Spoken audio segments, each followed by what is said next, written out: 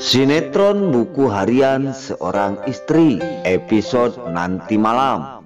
19 April 2022 hanya di SCTV 1 untuk kita semua. Yang tentunya semakin seru dan menarik untuk kita tonton ya guys. Oke guys kita langsung aja ke pembahasan. Di situ terlihat Lia bersama Pajar. Lia sedang mendatangi Pajar bahwasanya dia meminta maaf dengan perilaku ibunya. Di sisi lain, Lia juga minta maaf setelah kejadian di kantor bersama Dewa. Itu hal yang tidak disengaja. Jadi Mas Pajar jangan sampai cemburu terhadap aku. Aku cuma maaf cintaku cuma untuk Mas Pajar.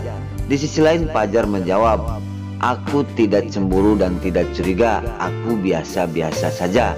Dan kenapa kamu mendatangi kontrakan aku? Ungkap Pajar. Di situ langsung Lia pun berkata, Aku cuma memastikan aku yang aku sangat sayang kepada kamu, ungkap Lia. Singkat cerita di situ terlihat ibunya Cornelia yang telah mencari Lia. Namun setelah itu tiba-tiba terlihat Lia berdiri di depan kontrakan sendirian. Di situ langsung Ibunya pun mendekati anaknya yaitu Lia dan di situ langsung berkata, Lia kamu lagi ngapain berdiri di depan kontrakan laki-laki? Itu tidak benar, ungkap mamahnya Lia kepada Cornelia. Di situ Lia cuma berkata bahwasanya aku mencari udara segar. Ungkap Lia kepada ibunya. Di sisi lain, di situ terlihat mamahnya Lia langsung bertanya lagi, "Kamu bohong, kamu telah menemui Pajar," ungkap mamahnya. Di situ Lia jadi bingung untuk menjelaskan kepada mamahnya bahwasanya mamahnya terus menegur dirinya jangan sampai mendekati Pajar lagi. Karena Mama Lia sudah rencana dengan Bu Parah untuk menjodohkan bersama Dewa Padahal Dewa sudah punya istri ya guys. Akan tetapi toh kenapa mamahnya Lia bersama para buana akan men menjodohkan Lia bersama Pajar yang sudah mempunyai istri dan anak? Sedangkan Lia sedangkan Lia cuma Pajar seorang. Cintanya Lia. Tapi kenapa kok banyak sekali cobaan dan gangguan di dalam hubungan Lia bersama Mas Pajar. Singkat cerita di situ terlihat di rumahnya Dewa Buana. Di situ Dewa sedang membereskan sebuah kardus. Di sisi lain, Dewa, Dewa pun sekarang lagi galau. Namun tiba-tiba datang Nana, istri yang tercinta, dan Nana berkata kepada Dewa bahwasanya Mas Dewa biar aku bantuin. Di situ langsung Dewa set, maaf Nana setelah menawarkan jasa kepada suaminya untuk membantu beres-beres. Namun di situ Dewa berkata bahwasanya Nana udah kamu diem aja dan gendong aja Junior biar aku yang membereskan barang-barang ini ungkap Dewa terhadap istrinya yaitu Nana. Di sisi lain Nana terus mendekati Dewa karena Nana tahu Bahkan Dewa Mas Dewa lagi galau gara-gara tidak bisa melindungi aku waktu kemarin malam. Maka dari itu Dewa pikirannya lagi kacau dan Dewa tidak gairah. Namun Nana punya trik untuk maaf agar Dewa selalu bicara terus terhadap dirinya. Setelah Dewa maaf setelah Dewa berdiri tiba-tiba ada Nana memanggil Dewa dan di situ Dewa pun cepat bergegas mendatangi Nana di dapur. Di sisi lain, setelah nyampe ke belakang ke dapur, Dewa disuruh masangin gas karena gasnya habis. Nana mau masak. Di situ langsung Dewa pun menurut dengan suruhan dan kata-kata Nana. Padahal Nana sengaja biar Mas Dewa tidak galau.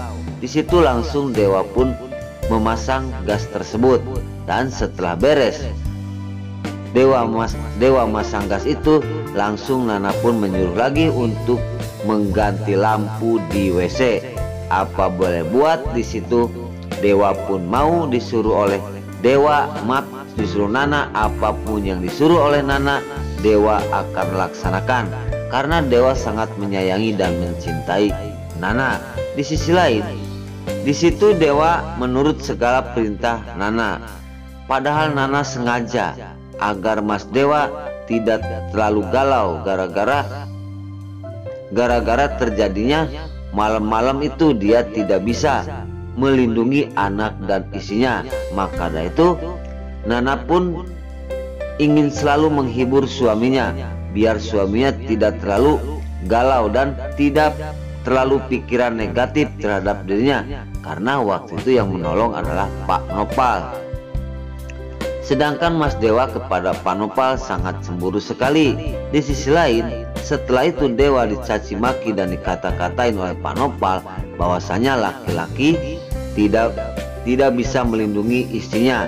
Dan di situ makanya jadi pikiran Dewa sampai sekarang.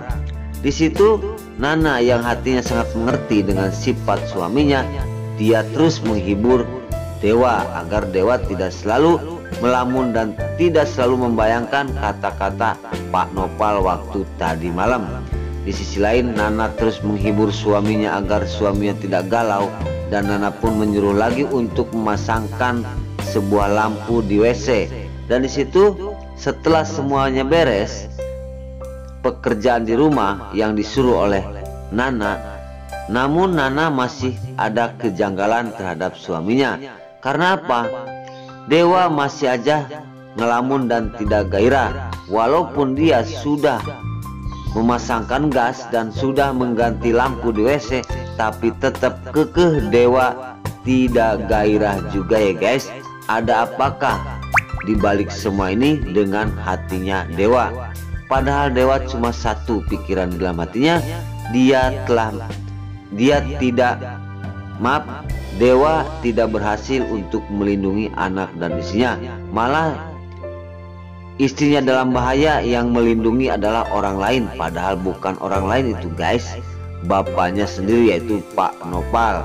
Nah oke okay guys. Sebelum lanjut Mimin sarankan bagi kalian yang baru menemukan channel ini jangan lupa tekan tombol like komen dan subscribe nya dan jangan lupa juga nyalakan lonceng notifikasinya agar kalian tidak terlewatkan di channel ini dan jangan lupa juga ya guys tonton terus video ini sampai habis agar tidak ada kesalahpahaman di antara kita. Dan mari kita doakan para pemain buku harian seorang istri ini agar selalu diberi kesehatan dan dimudahkan segala urusannya.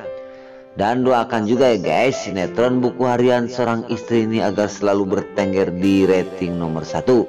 Amin ya robbal amin.